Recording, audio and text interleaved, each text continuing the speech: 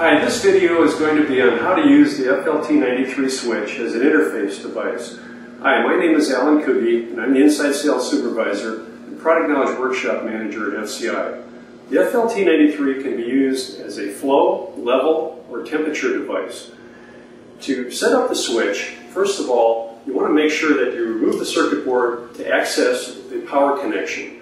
If it's an integral switch like this one, there'll be a socket inside the enclosure for hooking power to. If it's a remote device, that socket will be in a remote enclosure and there'll be a terminal strip in the probe enclosure to hook your power to.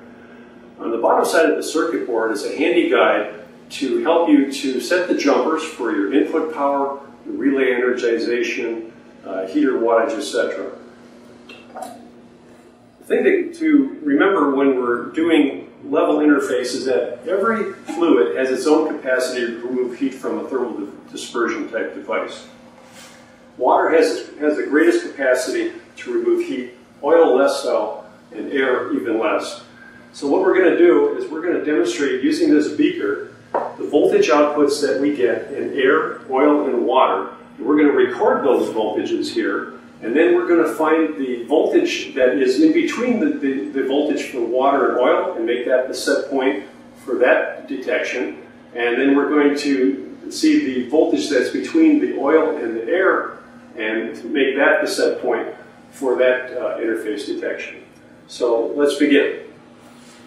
All right, in our demonstration we have an FLT93 set up and we have it set up as an interface detector with a beaker that has a sensor installed in it so that we can immerse the sensor in air, oil, or water.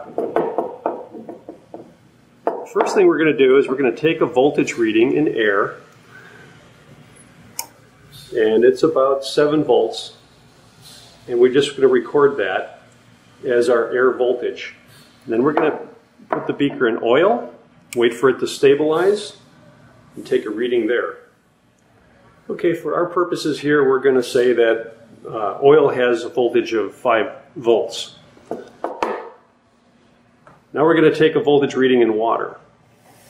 Okay, now water has stabilized at about 2 volts.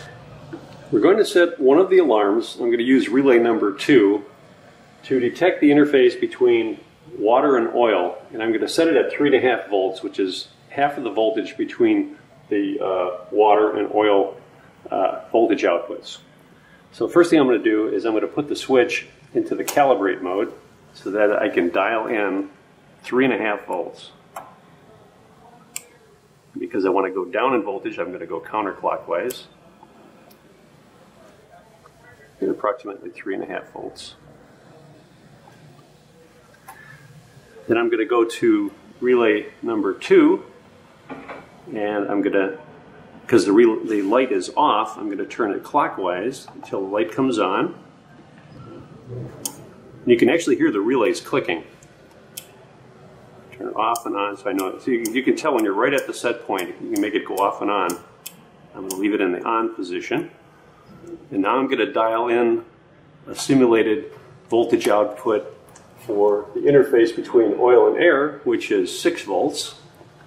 I'm going to go clockwise because I want the voltage to go up. And I'm going to go to relay number one, which is the red LED. The light is on, so I'm going to go counterclockwise to make the light go off. And now I can have it. Now I can have it where light comes on and off.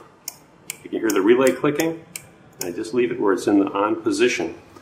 Now I put the switch back into the run mode, and I'm good to go.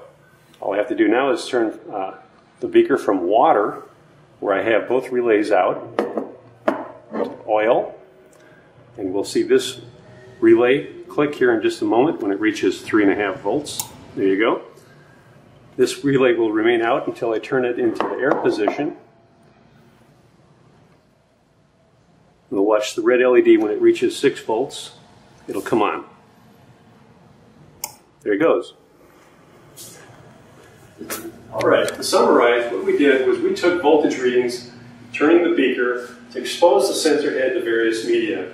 In water, we recorded 2 volts output. In oil, 5 volts. So we set R25 as an interface between the water and oil at 3.5 volts, which was halfway between these two voltage readings. And then, to detect the oil-air interface, we set R26 to 6 volts, halfway between the 5 and the 7 volts. And then we turned the beaker and we were, we were observing the lights and how they function. Both lights were off for water, one light was on for oil, and both lights were on for air. This indicates the relay states. And by using the relay logic, you can tell which state that you're in. Now, one final thought uh, to pass on to you about using the FLT switch for an interface application. It's important that the tank has stable fluid. If the fluid is moving, the movement of the fluid is also going to remove heat from the sensor and drive these voltages down.